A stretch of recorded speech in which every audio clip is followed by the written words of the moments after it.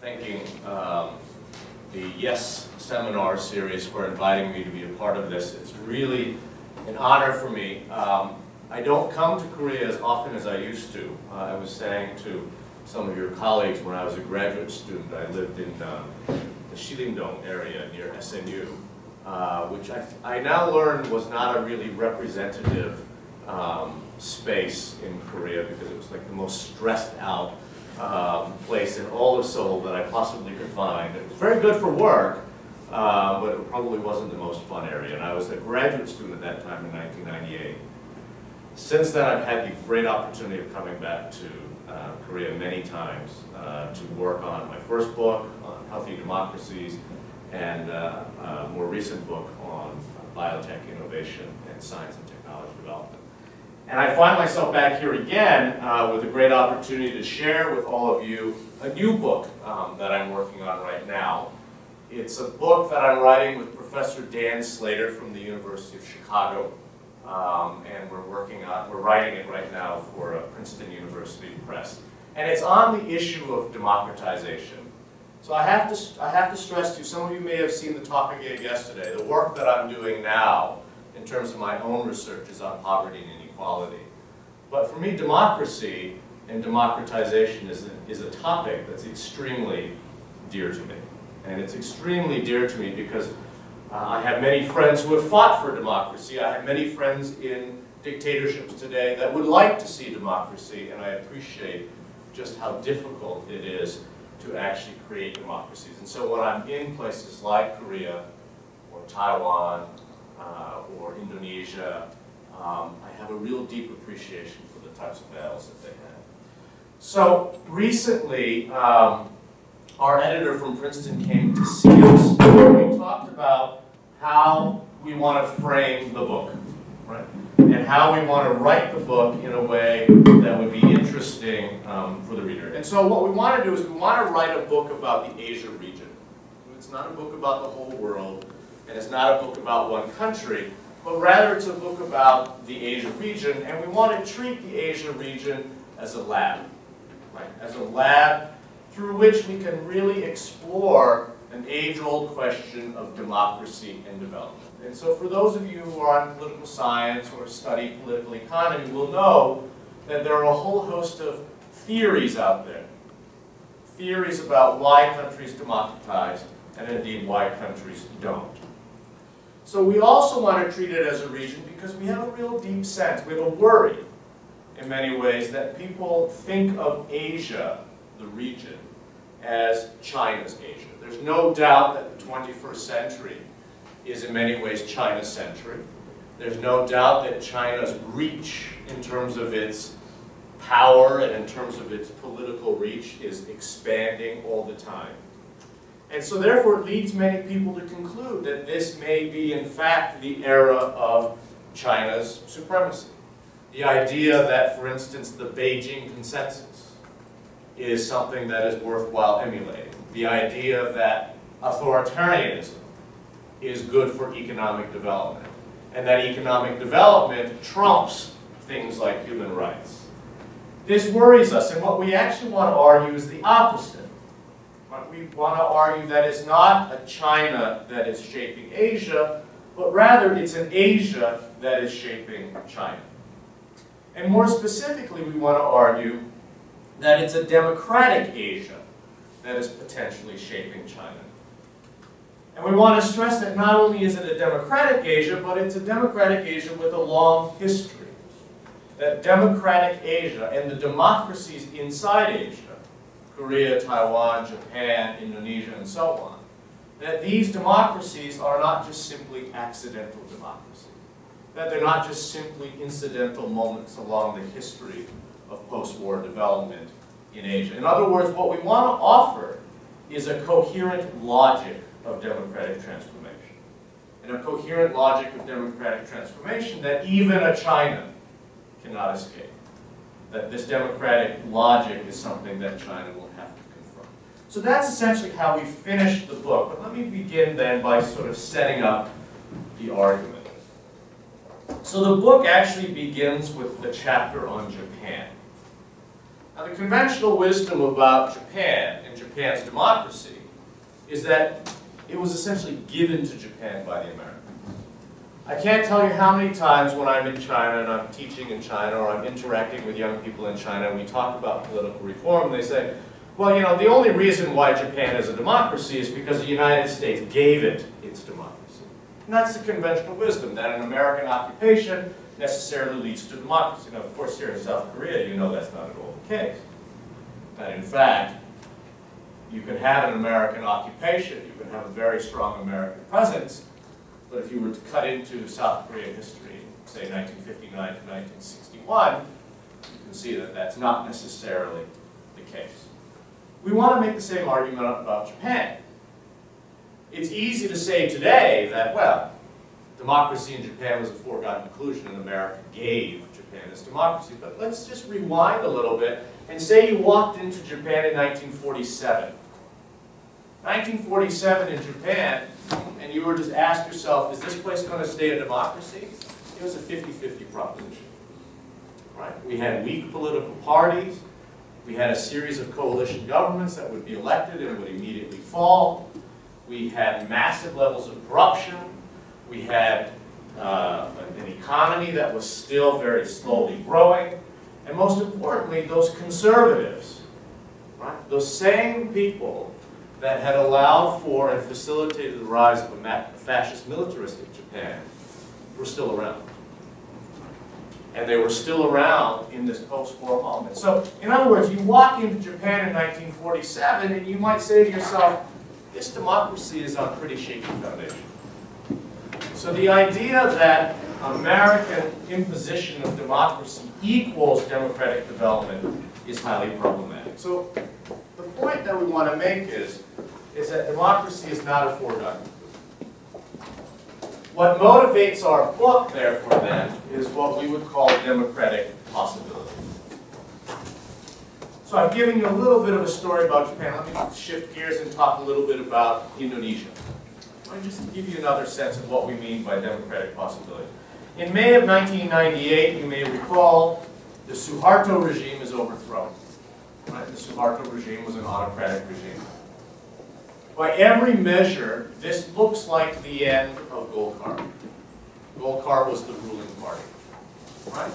So uh, Suharto falls, it looks like the end of Golkar, and to make matters worse, the president who steps in is Habibie. And if you were to go back in time to 1998, Habibie was a very weak president. He was not particularly popular. Did not have a particularly strong hold over the Golkar ruling party. In other words, we had a regime that was hanging on by a thread. It was under assault it was severely weakened. Now, the conventional wisdom, political science theory would tell us that under those conditions, amidst crisis and a weak president, political science theory should tell us that we would expect the regime to repress. And there's good reason. So Barbara Geddes, who was one of the most influential political scientists, writes very simply, and this is a very powerful statement, the preferences of party cadres are much simpler than those of military officers. Like democratic politicians, they simply want to hold on to office. So Geddes' argument basically is that military dictators can always return to the barracks. They have somewhere to go. But if you're a civilian dictator, you have no other choice. You're going to hang on until the very end. And the way in which you hang on is through repression. So everyone in 1998 expected Habibie to repress. Everyone in 1998 expected Golkar to hang on and repress to the very end. But actually what happens is something totally unexpected. Elections were supposed to be held in 2002, and what Habibie does is he actually expedites the elections to 1999. Now, for most of us who were watching Indonesia at that point, this was very counterintuitive. You're a regime hanging on by a thread. Why would you expedite the elections? Because in effect, you're expediting your own defeat. Our argument actually is quite the opposite. What we want to argue is that Habibie himself was weak. He was absolutely weak. but the party, Golkar, was still relatively strong. In other words, Habibie expedites the elections and ushers in democratic reform when the party still has a chance to survive. After all, think about it, in Indonesia, it was the Golkar party that presided over a developmental state. It was a Golkar party that had essentially turned Indonesia from an economic basket case into a rising industrial nation. It was the Golkar party that had tremendous territorial advantage. In other words, it had popularity across the country. And it was the Golkar party that had power in the peripheral areas of the country. So by moving the elections to 1999 instead of 2002 was, if you think about it, the best option for Habibie and indeed Golkar to survive. And it was the best option because even though Habibie himself was weak, the party was still strong. And indeed, what ends up happening is Golkar came in second place. In 1999, it was not wiped out. It was still strong enough to come in second place. And in 2004, Golkar becomes the ruling party again. I tell you this story because theory, and Geddes' theory is an extremely powerful, influential theory. Theory would have predicted authoritarian repression. But what we argue instead is democratic possibility. In that moment of crisis, when the party is still strong, Geddes would have said they would have continued repression. We actually find that in fact we see democratic possibility. We have this faith in democratic possibility because after all, we want to argue that democratic possibilities are a function of choice. So things like economic development, urbanization, industrialization, all of the characteristics of modernization theory, they facilitate that choice towards democracy. But we want to stress that they are not determinative. After all, and this is one of the problems with modernization theory, it's not as though you go to bed one night in a dictatorship and then you wake up the next morning and you were modern and you were suddenly democracy. Overnight, somebody had to make that choice. Indeed, that choice, and we want to argue, choosing democracy is not easy. That's why we don't see it very often. From the point of view of those who are fighting for democracy, maybe your parents, maybe some of your, certainly my colleagues who are in the professoriate ranks, they fought for democracy. Right? They were in the streets, they shed blood, sweat, and tears for democracy.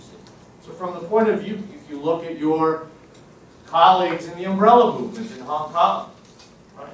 You can see that from the point of view of those fighting for democracy, it's not an easy choice.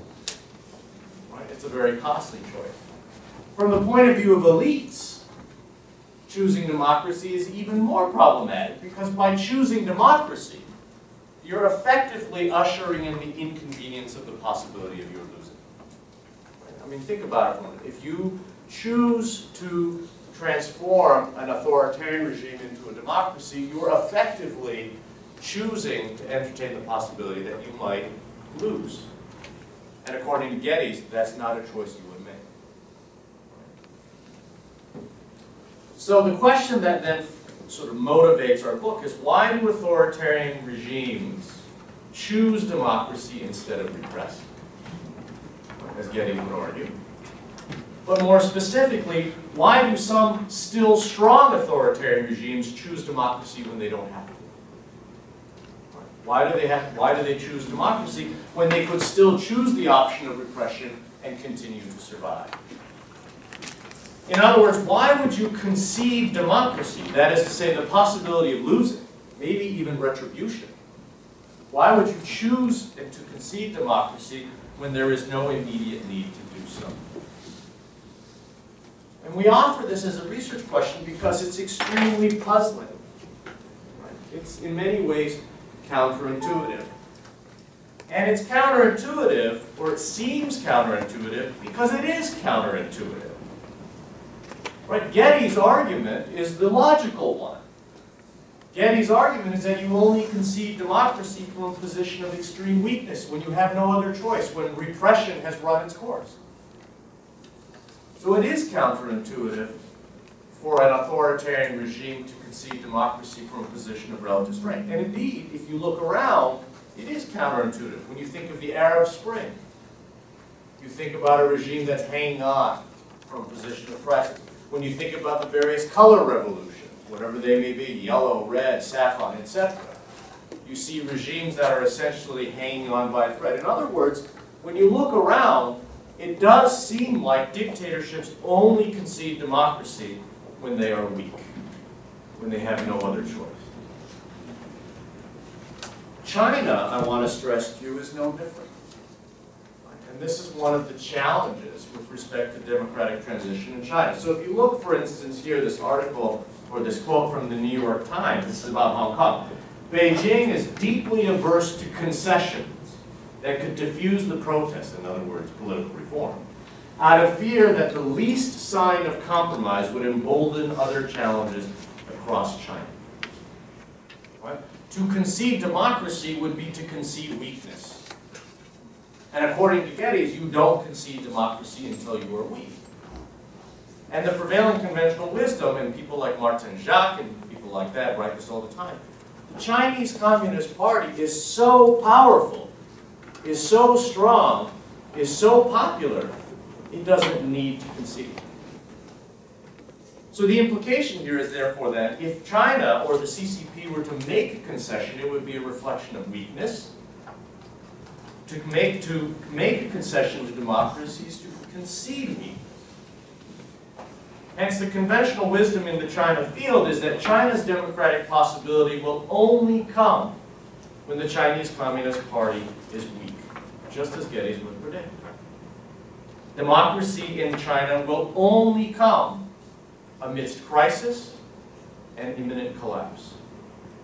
Everyone around, when you think about it, that's how we think about democracy in China. So those who are defenders of the Beijing regime, like Martin all, will argue there's no need to democratize because the party is still strong.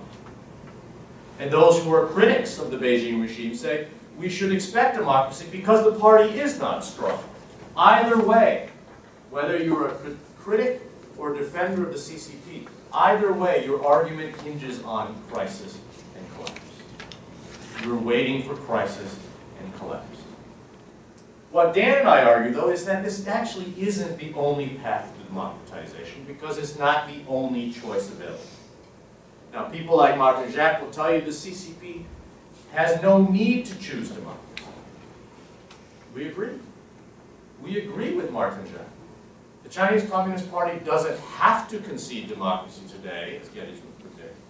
But we also want to argue, contrary to people Jacques, is that there is more than one choice. And the choice is basically this.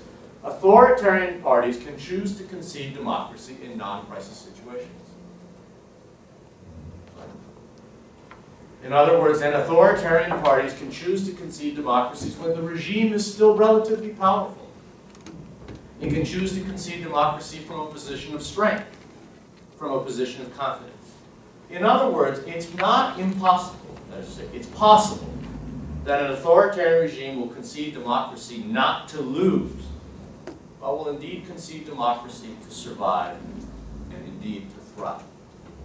So when you think about that logic, then when we go back to Habibie's concessions by moving the elections to 1999, he's not committing political suicide. He's not hanging on to the last thread. He's not conceding because he has no other choice. Indeed, what we see is that he's taking a gamble, for sure.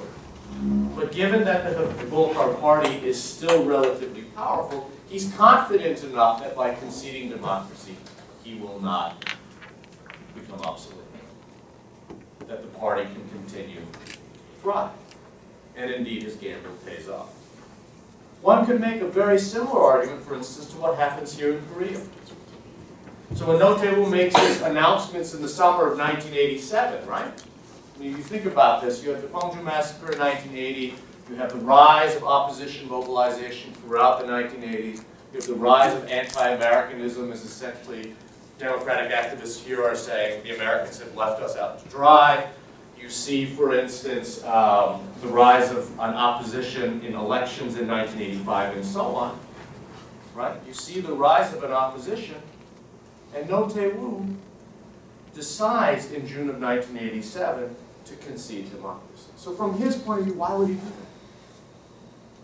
One argument, and the argument we make, is that the, the opposition remains relatively weak. The opposition, as No might have predicted, would split, and indeed Kim Young-sam and Kim Dae-jung do split the opposition vote such that Nam No Tae-woo wins the presidency with only 34% of the popular vote. There was a gamble, for instance, that the middle class would be the swing voter and would go back to the ruling party, and indeed many elements of the middle class do swing back and vote for the ruling party. And there was, in many senses, a gamble that the Ming Minjung movement would fall apart shortly after democratic transition, and if one believes the work of historian Namhee Lee, then indeed it does. So there was a gamble here, but essentially what we see is No Tae-woo choosing democracy, choosing to concede democracy as a gamble, but when the party is still relatively strong. So despite conventional wisdom, which is to say that you only concede during crisis, we actually see the opposite. We actually see that you might concede democracy from a position of relative strength. In other words, then democratizing from strength is about confidence. Right? It's about confidence from the point of view of the regime. And the best case, and the most emblematic case in our book, is the case of Taiwan. It really is the best case. So if one looks at, for instance, the Kuomintang in Taiwan, the KMT, this was by every measure a brutal regime. Right? This was a regime into the early to mid-1980s that was still ordering the assassination of opponents as far away as California. Right? This was not a shrinking violet. This was not a humanizing regime. This was, by every measure, a brutal regime. In 1986, Democratic opposition, opposition Democratic activists announced at the Grand Hotel in the fall of 1986 the formation of an opposition political party, the Democratic Progressive Party, or the DPP everybody who was a Taiwan watcher or a Chinese politics watcher predicted, as Geddes would predict, that the regime would clamp down, that the regime would destroy the party, because after all, Taiwan was still under martial law. But what actually happens is something that we didn't expect, or at least our theories would not predict. Then President Chiang Ching-kuo actually allows the DPP to form, and doesn't crush it. and to add to that, in 1987, the Chiang Ching-kuo regime and the KMT regime lifts martial law. In other words, what we see is a monumental concession. The CCK himself says in 1986, the times are changing, the environment is changing, the tide is also changing. So this was a regime that as late as 1983 was ordering assassinations of, opposition activists in California. By 1986, you have the president saying the time has changed. The tide is changing. And what we see is the KMT conceding democratic reform by allowing the DPP to form and the lifting of martial law and the introduction of full-scale elections in 1992. We see the KMT conceding when it doesn't have to. In 1986, the KMT is still extremely powerful.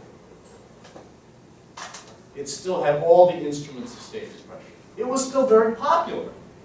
After all, this was an economy that was growing at 8 to 10% a year, relatively egalitarian distribution of income. This was the period in which you were now seeing the development of a high-tech sector and so on. All of the predictors of collapse don't happen. There is no crisis. But what we see is the KMT conceding when it doesn't have to. It could have hung on as an authoritarian regime, but Chiang Ching-kuo makes a gamble. His gamble is to concede democracy. And as we know, given that the KMT has never lost a majority in the legislative yuan, it was a gamble that has paid off enormously. In other words, the CCK does not concede to lose.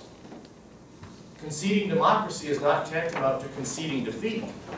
He concedes democracy because he was confident that the KMT could win. And I don't want to be historical revisionist here.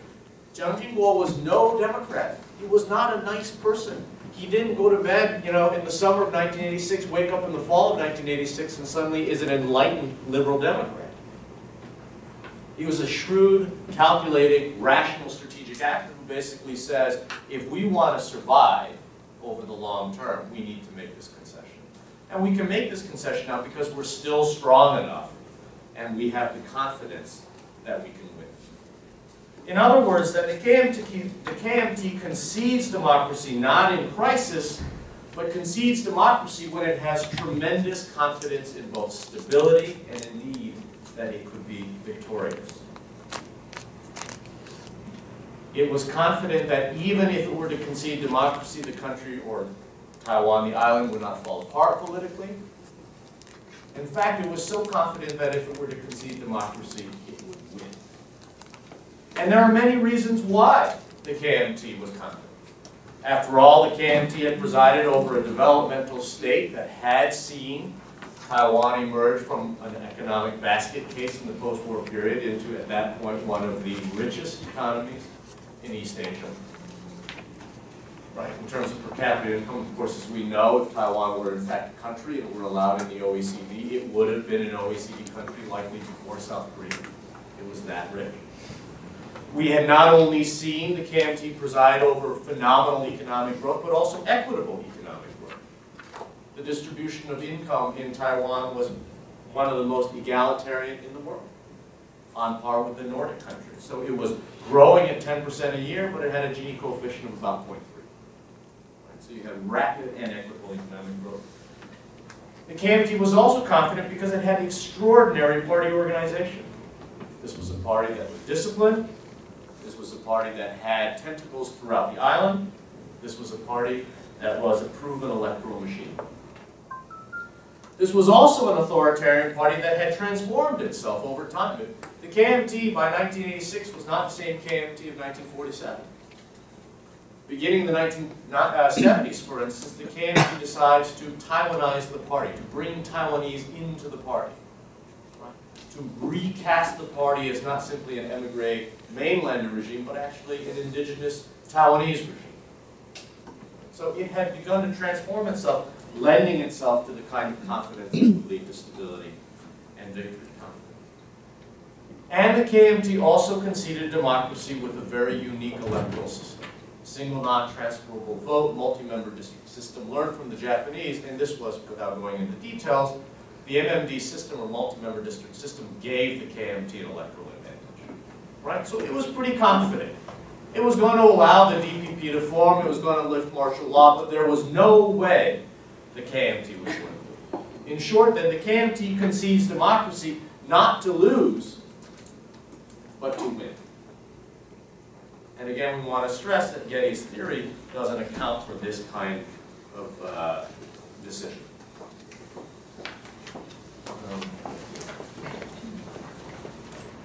Right. So our theory basically then, or actually I should show you the slide. The camp, this is based on our article. The KMT ultimately chose to concede democracy because the party was in a position not of desperation, but of fairly strong confidence that democratic concession would ensure both the KMT's victory and the maintenance of stability. So our theory then that we present, or our logic of explanation that we present in the article really comprises three parts. Strengths, signals, and strategies. And I'm going to very briefly go into this. But I've given you lots of examples now. A little bit of Japan in 1947, a little bit of Indonesia in 1998, a little bit of South Korea in 1987, a little bit of KMT in 1986. So how does this then inductively generate the theory that we're talking about? Well, the first part is is that a regime is more likely to concede democracy when it enjoys antecedent strengths. When it has the basis, as I've described to you in the case of the KMT in Taiwan, the basis of stability, confidence, and victory. So these are not weak regimes. These are regimes that actually have built up a stock of political, economic, and social power that allows it the stability and victory confidence that is so important. we also, so the second part is signals. We also argue that an authoritarian regime is more likely to concede democracy when it has just passed the apex of power. So we have this curve here. A regime is most likely to concede democracy, or most probably to concede democracy, when it is no longer on the rise in terms of its political power, but that it's just past its power. we call this the bittersweet spot. Right? It's bitter because you have to make a concession. It's sweet because if you make the concession in the bittersweet spot, you're probably going to win. Right? So we call it bittersweet. The key, though, is how do you know you've passed the apex? So what we then look at are signals. What does the regime see as signals that suggest to it that it has perhaps passed the apex of power? So the clearest signal would be electoral. In the case of Taiwan, we had limited elections. Opposition parties were not allowed to contest. But over time, the KMT could see that its popularity had begun to wane. Not a lot, wasn't a curve like this, but it was gradually declining. It still held a supermajority. It still was the most powerful actor in politics, but it's beginning to wane. So electoral signals are a kind of signal that suggests a regime that has passed its apex of power. Other kinds of signals would include, for instance, public protest, geopolitical signals. So, for instance, in the case of Taiwan, when the United States normalizes relations with the People's Republic of China, the KMT regime is essentially left adrift, and it no longer has its original raison d'etre to be ruling on the part or on the island, right? So, a geopolitical shock. One can make the argument in Korea too, right? The United States essentially starting to criticize uh, the Chun Doo-hwan regime, the United States essentially turning its back in many ways on democratic activists. The looming specter that would be the 1988 Seoul Olympics, all of these geopolitical factors are also kinds of signals that may suggest to a regime that is past its apex of power. And of course, economic crisis. Economic crisis is a kind of signal. We would suggest it's more of an indirect signal because regimes are able to oftentimes pass the blame. The point here is that there is some signal that suggests to the regime that it's past its apex of power, that when it has just passed the apex of power, it's most likely to concede democracy, and it's most likely to concede to thrive and to survive. That said, there is also the case in which the regime may hurtle through the bittersweet zone. It may not make any concessions, and the point we make here is that once it passes this bittersweet spot, Geddes is right you have no choice but to continue repression. So if you are a rational uh, strategic actor, if you pass the bittersweet spot, this is the best time to concede. If you make it down to here, well, you know, your best option actually is to repress and hang on to the very end. We argue, for instance, that Malaysia is here. Right? Indonesia is about there, Korea is about there, Taiwan is there. So the curve um, uh, matters. We also argue in the third part, so the second, first is strengths, signals, and then strategies. When you have antecedent strengths, but you begin to receive um, signals that you pass the apex of power, that then is tantamount to the need for re-legitimation strategies, and we would expect, therefore, then, conflict, an intra-party struggle. So we may, for instance, argue that in 1989, we see this in China, conflict between folks on the Zhao Ziyang side versus the Li Peng side. When we see conflict, we don't predict which side is going to win. We're not in the game of prediction, but we are in the game of expectation of conflict and trying then to understand the politics of that conflict. Uh, of that conflict. One choice, of course, is to hang on. The other choice is to make it. Now, we can't get inside the heads of dictators, but we can see the outcomes of these struggles. We know what happens as a result of these struggles. And in some cases, we see concession. Decisive reforms like free and fair elections, formation of electoral commission, media reform. In other words, the ushering in of the possibility of defeat. Hence, if you're following the argument that we're making here, we have a paradox when a ruling party enjoys substantial capacity, that is to say power, this not only increases its ability to sustain authoritarian rule, but can in fact lessen its imperative to do so. So this is the paradox, right? That when parties or dictatorships are strong, it actually has the power to remain authoritarian, but it may also have or present the incentive to choose democracy. And what we see, in fact, in the argument that we want to make in the case of Asia is that more often than not, the democracies that have emerged in Asia have chosen democracy at a time when they were still relatively strong.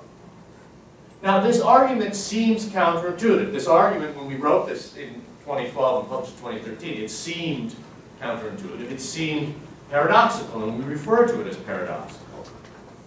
But since then, we've really thought more clearly about it, and we've actually had some of our RAs look into this, and we've begun to look at this kind of, these sets of assertions more globally and worldwide, and we find that maybe it's not that counter. That this kind of logic that we're arguing isn't that counterintuitive. So for instance, in 1986, and I, I can't give you the details on, on how this was coded because um, one of our RAs in Chicago did this, but anyway, I think it's, it's, it's demonstrative. In 1986, there were 83 authoritarian ruling parties. Since that time, 35 of those 86 have remained authoritarian. 48 have undergone political transitions. Of those 48, 15 are obsolete. In other words, they hurtled through. 15 remain competitive but minor parties or coalition partners and 18 have not only remained competitive, but have also remained the major dominant party. When you think about it that way, then, one might conclude it may in fact be quote-unquote incentive compatible for authoritarian regimes to concede from a position of strength. It may not be that paradoxical or counterintuitive as we may have initially thought. If it may be incentive compatible for authoritarian regimes to concede, if it may be incentive compatible, then we're talking about, it goes back to the very first slide, choice. If it's about incentive compatibility, we're talking about choice. And where there is choice, and it goes back to the original argument, where there is choice, there is possibility. This then brings us back and allows us to return to the question of China. And now this book that we're writing is not a book about China. We told our editors at Princeton we're only writing one chapter on China, but it's an important chapter. We get to go back to the case of China. We return to the question of China. In our view, in light of the explanation that we've just given, in our view, democratic possibilities are very real in China, according to our theory. In fact, according to our logic of explanation, now is the best time for the Chinese Communist Party to, to concede. And so in our book, we treat the CCP as a candidate case. It's the best time for the CCP concede because, in our analysis, the CCP has just passed the apex of power. That there are massive looming problems on the horizon. Structural inequality, right? banking reform, uh, industrial uh, state-owned enterprise reform, rural development, and so on. Levels of inequality that are becoming intolerable, corruption, and so on. There are looming problems on the horizon that would suggest that the CCP has just passed its apex of power. That said, if the Chinese Communist Party were to concede democratic reforms today, it's inconceivable in our analysis that the CCP would not win. In other words, if the CCP were to concede democracy today, just as Jiang Jingguo does in 1986, the CCP would win, just as the KMT does in the late 1980s, early 1990s. And indeed, contrary to the fears that we hear in Beijing, if the CCP were to concede, China would not fall apart. In fact, one can make the argument that the CCP, by conceding democracy, may in fact pull the country closer together. So in short, therefore, the argument would suggest that this is the best time for the Chinese Communist Party to concede democracy, not only obviously for the country of China, but also for the strategic long-term interests of the Chinese Communist Party, to ensure its near-term thriving and to ensure its long-term survival. Now, I've had the pleasure and opportunity to present this paper many times in China. A lot of friends in China. We have off-the-record conversations all the time in China, and it's fantastic. And what I want to report to you are the kinds of reactions I get to this paper. Right? I mean, I'm essentially arguing you should concede democracy today. Can imagine the kind of reactions I would get, or you can imagine how anxious and nervous I can be sometimes as I make this argument uh, in China. So this is what I hear from them. some people say, you know, Joe, this is a fantastic argument. You're absolutely right. you Dan absolutely are right. History shows that, in fact, um, conceding to thrive is in, indeed uh, the logic that would make the most sense for the Chinese Communist Party. But here's a problem, and this is one of the react. And we talk to party officials, and the party officials say, yeah, we should concede democracy to thrive. But could we hold off for five more years until my son graduates from Harvard? Now, this is very real, right? Concession, right? Even though we say conceding to thrive is, is, a, is a kind of strategy that suggests that in all probability you will win, you still are ushering in a little bit of uncertainty, right? And so from an individual's point of view, they have their near-term interests versus the long-term interests of the party. And sometimes these interests are not aligned. We also hear, for instance, that from many people, that the Chinese Communist Party has not reached the apex of power. Right? That yes, when the CCP does just pass its apex of power, this argument makes a lot of sense, but the CCP has not reached the apex of power yet. And that's an argument that I think is quite defensible. What becomes very problematic is that when people say, an equal number of people say, the party has not reached its apex of power, you hear an equal number of people say, the party has already hurtled through that the party is so thoroughly delegitimated that if it were to concede democratic reforms today, it would topple. The CCP would lose. For us, what is most problematic is that we don't actually know where the CCP is curve. Or at least those in China who follow this and those who would be our informants and respondents don't know where the CCP is on the curve precisely because the signals are entirely mixed. So those are the kinds of reactions that we hear in China. Let me say then in closing, um,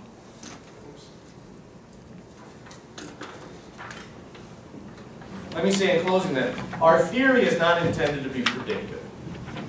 At best, our theory predicts struggle.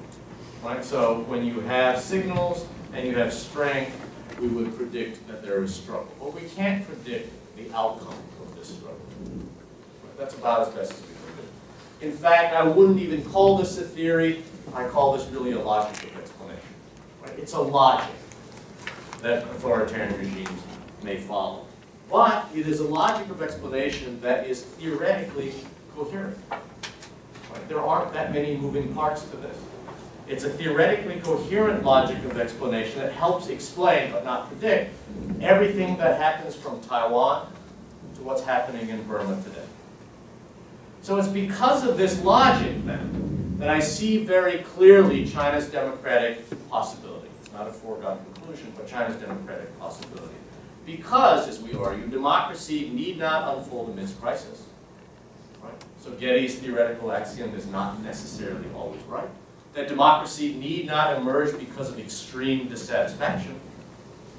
But rather, democracy can emerge and China's democratic possibility is precisely because the Chinese Communist Party, like Chen Jingguo, sees the logic of such possibility. Sees that by conceding democracy, it may in fact benefit the party. So let me say in closing closing, I'm far too cynical that people will choose democracy because it is right.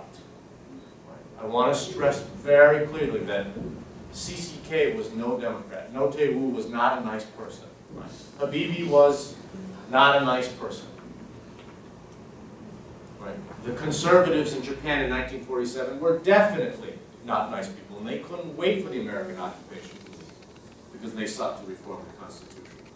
These are not nice people. I'm far too cynical that people will choose democracy because it is right, but it's that same cynicism, if you think about it. It's that same cynicism which leads me to believe that autocrats such as CCK in Taiwan, and indeed the Chinese Communist Party in China, will choose what makes strategic sense for them.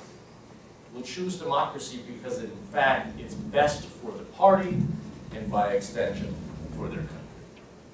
So let me leave it at that. Thank you very much for your attention and I welcome your comments and criticisms. Thank you.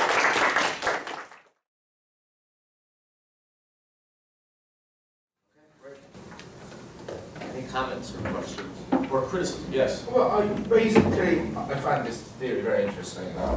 Do you think that um, it does sort of link with what I used to think before?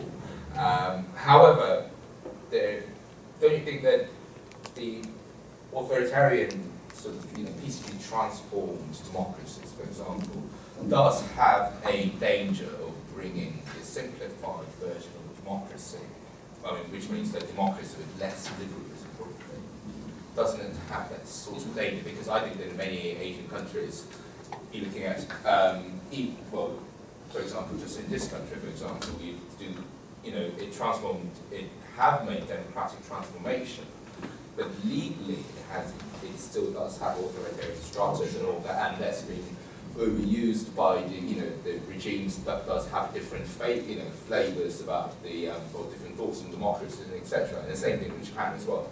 Um, doesn't it sort of bar the authoritarian regimes peacefully transforming democratic, um, democratic and democratization um, has got the possibility actually sort of doing mid levels of it? Yeah. Yep, absolutely. You know, one, one reading of this argument, and it's not wrong, is that in many ways, this is like, what we're writing is the handbook for dictators. Right? I mean, if you think about it, it's kind of like, what we're writing here is, if you want to save your own skin, you should read this book. Because this is, this is the dictator's way out of their conundrum. Which is one reading of it. And indeed, some dictators in the world have invited us to come meet with them because they're interested to see how other dictators have managed their own extrication from authoritarian regimes. And we meet, you know, morally, we're like, "Uh, this is a little problematic, but we go meet with them because we want to see how dictators think for precisely the reasons that you raised. What makes what was a dictator one night into a democrat the next? Or what makes an authoritarian regime one day and a quote-unquote democratic regime the next? I mean, and that's a, that's a real serious question, right? So if you think about it, one of the arguments that we make for why the KMT enjoys tremendous victory confidence is because it's an electoral system that unfairly advantages. Right? So that's why I keep want to stress, CCK was not a nice person. CCK only concedes democracy. He concedes democracy, but he has no intention of losing.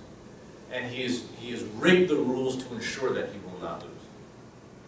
And indeed, if CCK had lived past uh, 1988, or he would never have expected the KMT. But indeed, the presidency does go to the opposition in uh, 1996, or 2000. Right? So, think it's two under it's a tribute. Right, so there, by ushering in a new set of rules, by ushering in the possibility of defeat, you then unleash a new process of political reform. So absolutely, you know, I take very seriously the Sunflower Movement in Taiwan because it raises questions of the quality of democracy. I take very seriously the various visual movements that happen in South Korea because it raises the question of democracy, right, and the quality of democracy. But there's no denying, right, you can go anywhere, there's no denying that the extension of political rights and the exercise of political rights in Taiwan today is fundamentally different than it was in 1986. So this isn't an overnight transformation, and I think in many ways we would be naive to think that it was. There are always going to be these authoritarian legacies that have to be ironed out and indeed extricated over time.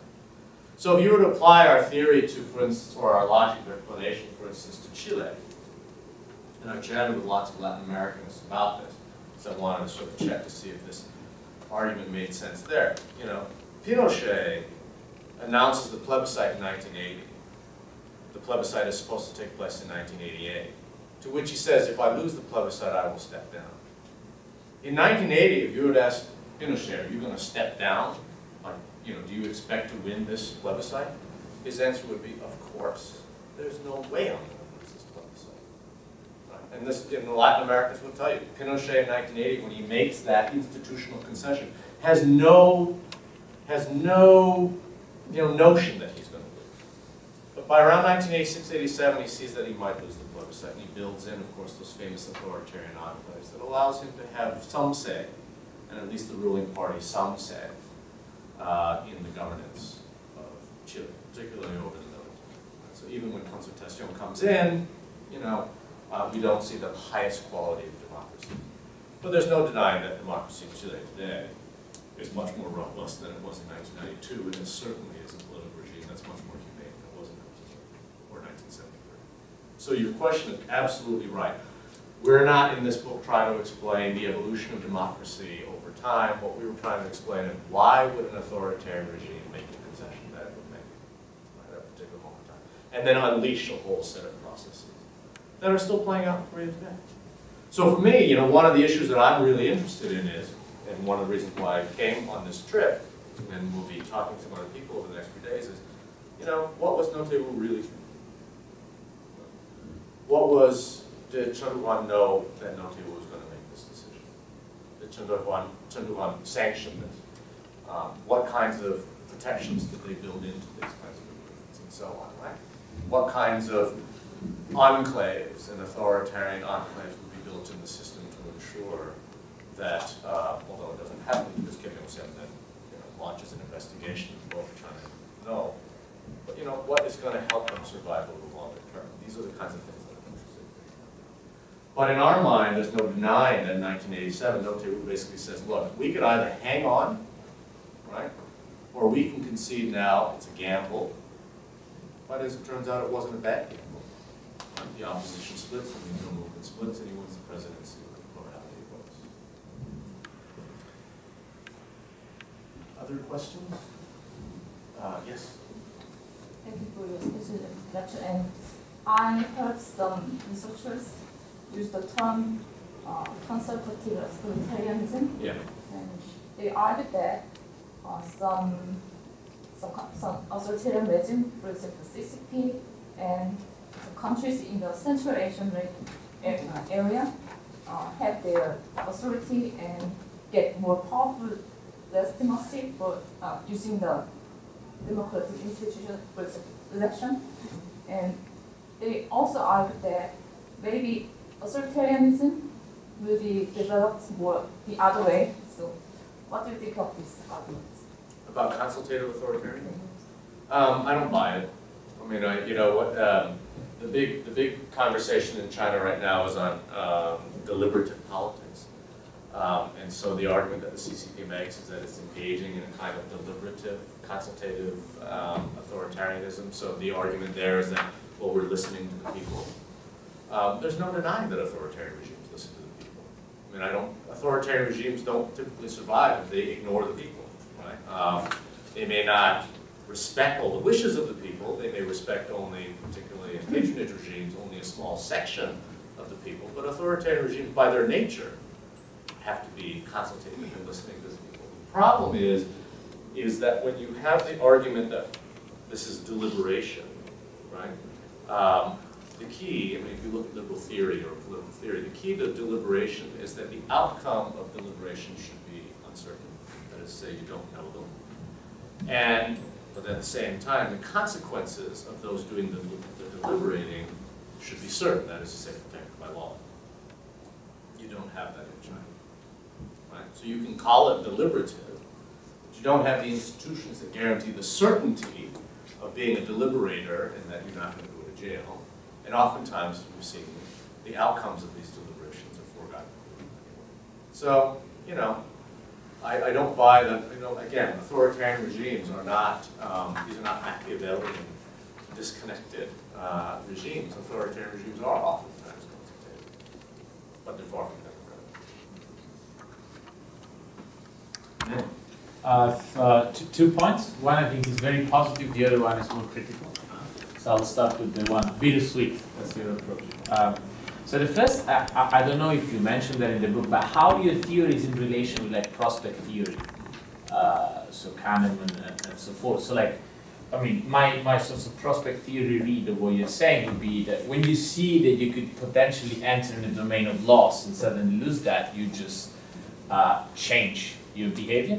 If you really feel strongly that you are in domain of win, so you feel that your apex is not there, whatever you can read that, then you go there. So, so in a sense, it will not be a parable anymore, but you could interpret that as a, you know, uh, being scared, being scared about entering the domain of loss, and it's like risk aversion of Yep. whatever. Like it's, it's the level of risk aversion of the dictator you're analyzing, or the parties in power, or the ruling elite, whatever. that is- so, for example, I don't know, in the case of China, one might argue that these people are uh, maybe uh, either conceiving, as you're saying, that they are not entering the domain of law, so they might not be that risk averse, or they might be, and in this case, they will take a decision. And the second is more as a, as a sociologist, and is a more critical one. It's like if we look at different societies, th- there are other factors that interact there and, and might make the story more complicated. And I know that your aim is to try to find a neat, parsimonious explanation of this stuff. But there is a lot that might interact. So the ideology of, of, of these people might be a variable there, and the other one might be society, which, you know, in a sense, you give a vision from, so from the top, how these people decide. It might work very well in Asian countries. I can see how it works for Taiwan. I, I, I really see how it does work. But then if you try to apply that, for example, to Latin American societies, then, you know, their movements in society are probably more dynamic Yeah. or uh, have different spins. So how would you relate to that? And, and, and if you think that you can try to accommodate some of these, these points into the, into the overall story? So I would, I would answer both the questions in the same way as say that what we're trying, in, in terms of the elegance of the, of the explanation, we're- what we're trying to do is highlight uh, a very parsimonious, elegant mechanism, right? That would, um, it's not predictive, so we're not saying that, you know, under these conditions, X, Y, and Z, you will, with, whatever probability, pick X over Y, but rather it presents to the decision maker a choice set. So if we're looking, for instance, in terms of prospect theory or the work of, you know, Kahneman and people like that, absolutely, right? How you think about uncertainty, what heuristic cues you may use, these are all going to influence that struggle part. So that's why I say we would predict struggle, we would expect struggle, but we don't predict the outcome of the struggle precisely for the reasons that you say, because there are some that would be more risk averse, there are obviously those who would lose or gain more, there are near-term interests versus long-term interests, but we can document that, right? So that's essentially in the, in the book, which we're still writing, so it's not out yet. I mean, in the book, what we're doing is we're trying to describe those processes, right? Um, and try to analytically build in then all of the layers of complexity that you're, uh, that you're rightly indicating. But in the end, all of these cases are presenting to the authoritarian regime an elegant decision, right? And want to, or an elegant explanation for a decision that they eventually have to make. So you're absolutely right. So all these layers of complexity in terms of societal structure, in terms of ideology, all of these shape these stories. But it also allows us then to make the explanation as to why we see Japan making, or the LDP making the decisions that it makes between 47 and 55, just as try to begin to understand why the military makes its decisions that it does for the PSPD or the USDP in Burma. Right? So the story of Burma in 2011 is not the story of Japan in 1947, but the decision that they're faced with is not the dissimilar. And so the book is essentially in each chapter or in each case, we want to present that decision, but that decision then, of course, is cloaked and it's, it's, it's built up around uh, a deep analysis of each case. But we're convinced that that choice is the same across all these cases. The ultimate decision is going to depend on the specific cases themselves. So with respect to China, you know, part of this is, you know, you, you can, you can probably see, you know, what we're trying to do here is, the reason why we're writing the Japan chapter is because I'm tired of hearing the arguments from China that democracy was just simply imposed in Japan and that the Japanese themselves did nothing for their democracy. Incidentally, the Chinese will make the same argument about democracy in Korea, which is, I think, deeply offensive to those who fought for democracy in Korea. But they'll make the argument that because Korea was part of the American Imperium, democracy was just simply gifted from the West uh, here. We want to make the argument that that's just crap, right? That by looking at Japan 47, that's just a stupid, unsustainable argument. Um, at the same time, we also want to make the argument with respect to China that these are, it's a decision that the CCP will have to make. And it's a decision that the CPSU made in the Soviet Union. It's a decision, right, that the National Party in South Africa has to make. It's a decision that the KMT, that it never thought it would have to make, has to make in 1986. Just to forewarn the CCP that such a decision may. So, you know, the book is really quite a normatively loaded uh, tract. Other questions?